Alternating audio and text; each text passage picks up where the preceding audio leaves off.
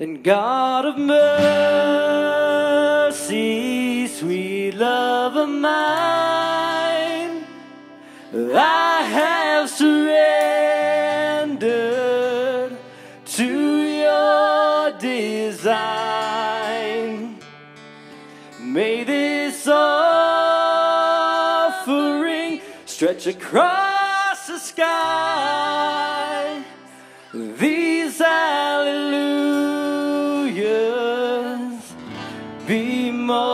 multiply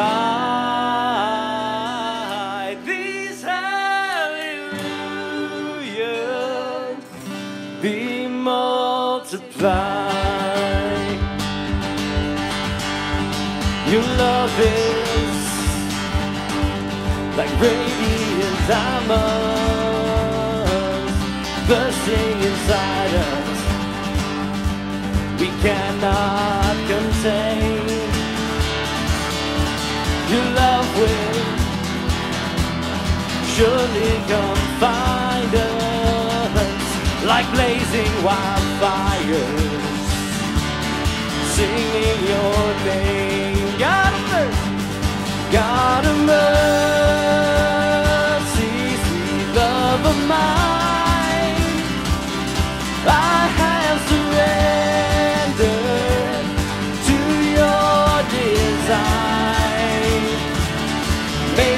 走。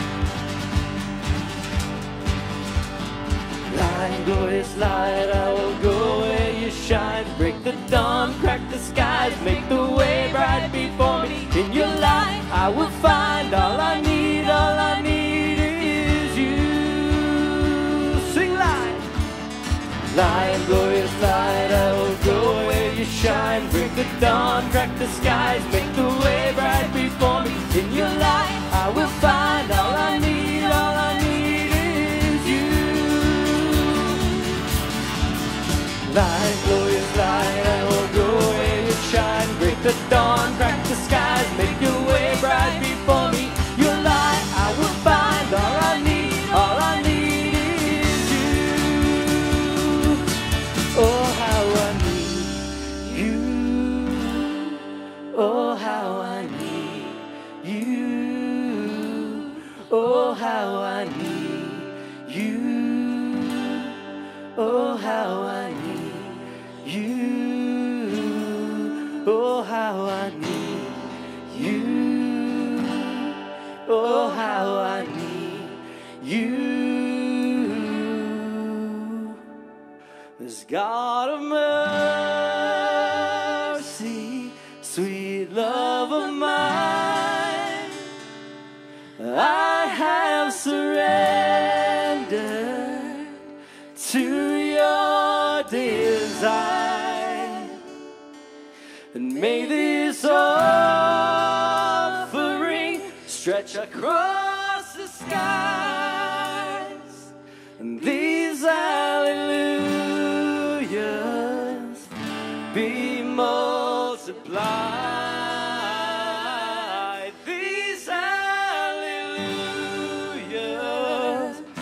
be multiplied. Give him a shout offering this morning.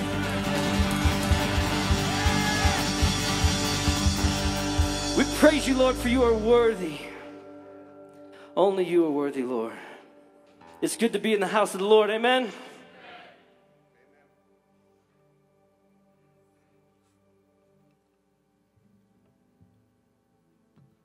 This song is about overcoming obstacles in our life. How many of you have obstacles?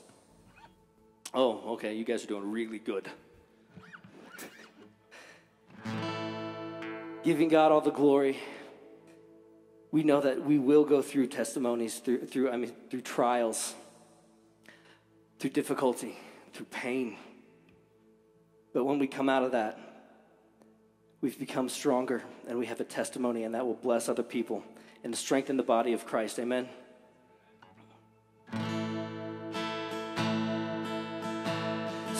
Seated above, throned in the Father's love,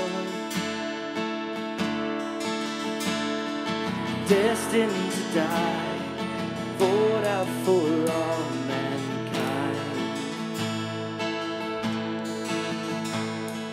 God's only Son, perfect and spotless one. He never sinned or suffered as if he did. All authority,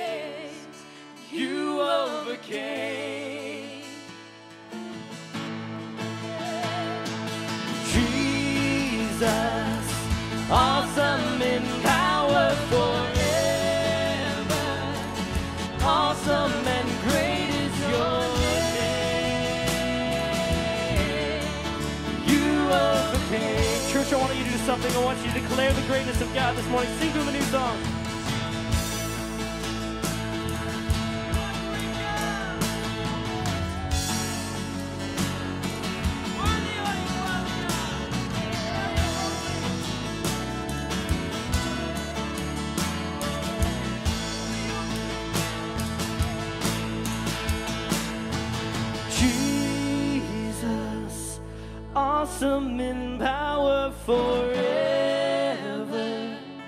Awesome and great is your name. You overcame, you overcame.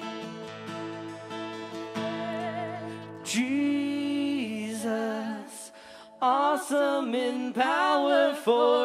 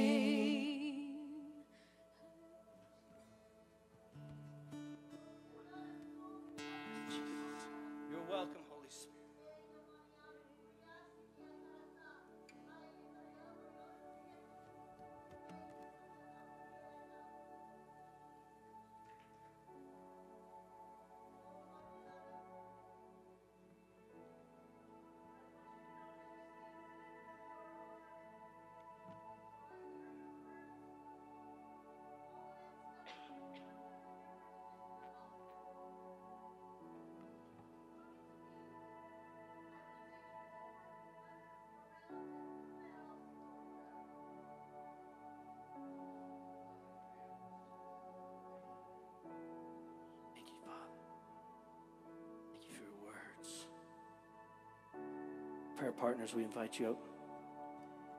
Church, I encourage you if you have hurts, if you have healing that needs to take place, come to the fountain and drink. Receive prayer. It's free and it works.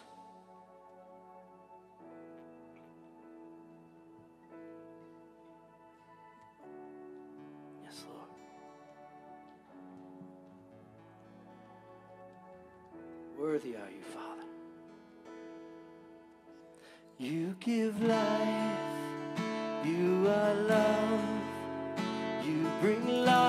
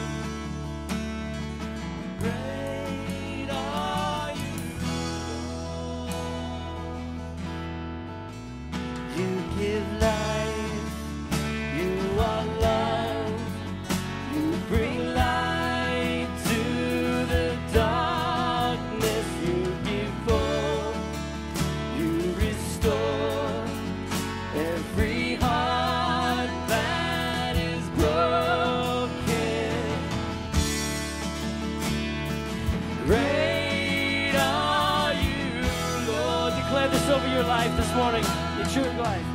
You give life.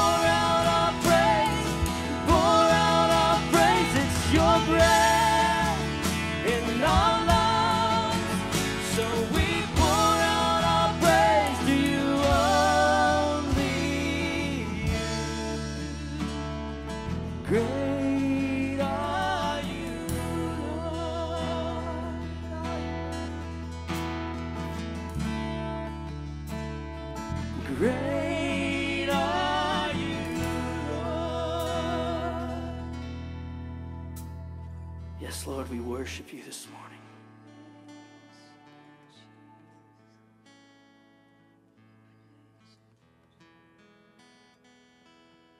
I don't know why, but the Holy Spirit has been impressing upon me this whole service thus far that we need to open up the altar.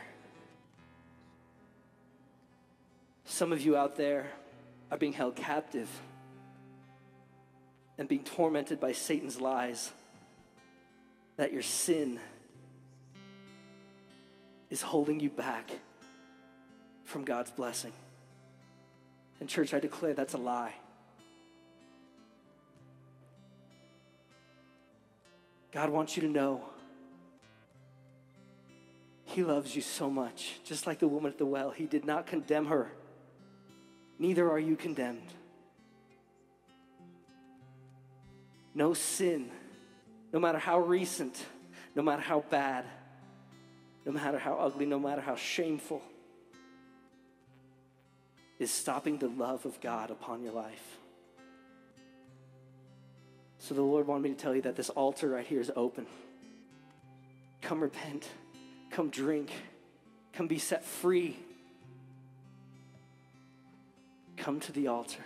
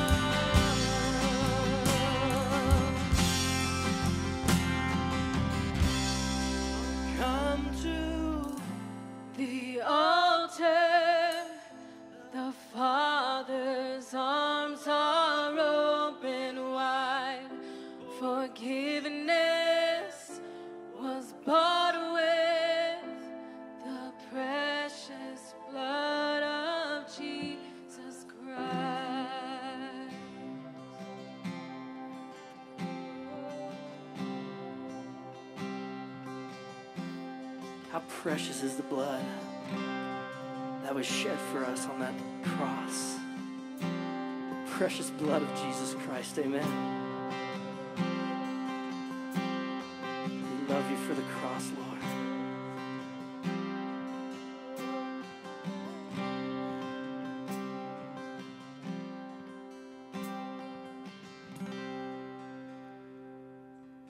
You know, I don't know about you, but I'm actually nervous right now because I believe that God is here to do some things that I have no idea what He wants to do, but it's it's to, it's to do and transform, it's to change, it's to encourage, it's to challenge.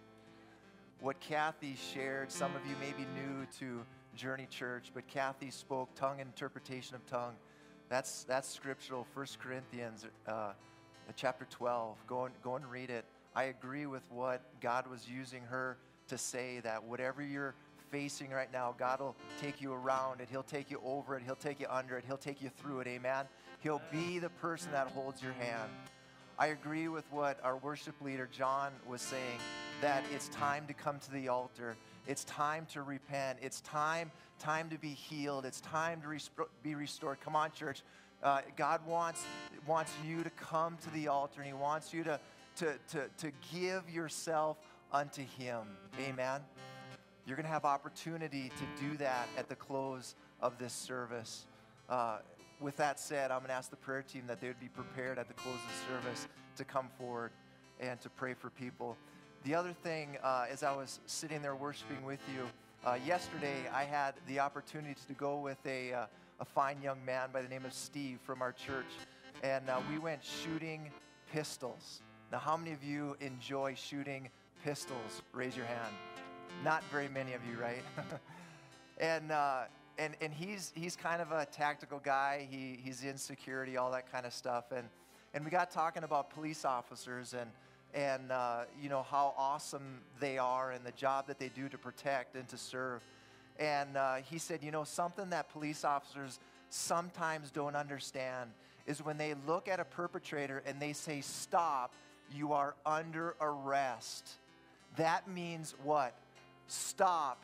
You are under arrest it brings all the authority of the federal government right down upon that one individual. How many know what I'm saying?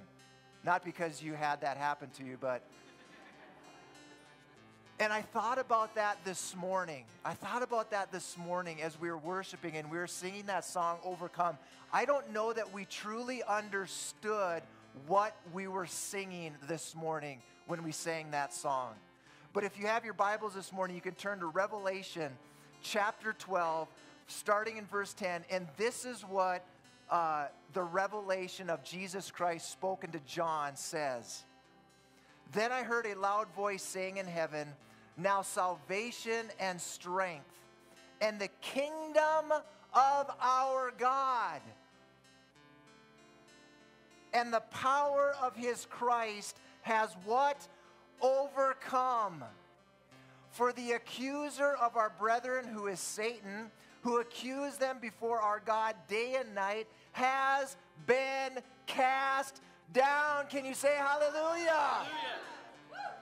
And they, not the people in heaven, okay? He is talking to people now on earth. And they overcame him, meaning Satan, by the blood of the Lamb. Can you say hallelujah? and by the word of their testimony. And they did not love their lives to the death. Listen, I don't know what you are going through this morning. I don't know what you're facing. It's not for me to, but God knows. And He is saying that He has overcome. He is going to bring you through. He is going to bring you over. He is going to bring you underneath. He is going to bring you around whatever it is that you face. And so you got to believe that by what is the word? Faith. You've got to believe that by faith. And then you declare it by the word of your testimony. Can you say, Praise the Lord? Father in heaven, we thank you so much that Jesus Christ provided everything. And as John said, it's free. It is free.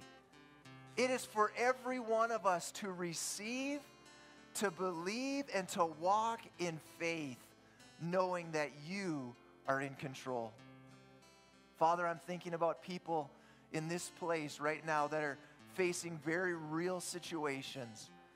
But God, I know that you are able because the Bible says that you, Jesus Christ, the Holy Spirit, have overcome. You have overcome. And so, Father, we put our faith and trust in you and in you alone. God, you use other entities in our world to bring uh, about your will. We get that. But Father, we believe this morning and we put our faith and trust in you that you will allow us and have allowed us to overcome.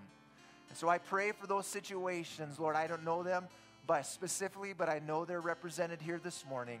And we ask God that you would show forth your power, your might, your love, your grace, your authority in every situation. And we thank you for it. Father, may we realize it. Maybe we need to repent. Maybe we need to change the way we're doing things a little bit to honor you. Whatever it is, God, that we would do that this morning. And Father, that Jesus Christ today and in our lives would be lifted up. And everybody in this place said, Amen. Amen. Hey, what we, we want to welcome all of our guests this morning. If you have never been to Journey Church, thank you for coming. If you've been here maybe just a couple times and you're just getting to know us, hey, we're kind of a weird bunch, but we love you to death and we're glad that you're here. Let's just take about seven minutes. Let's just greet one another. Let's just share the love of Jesus Christ.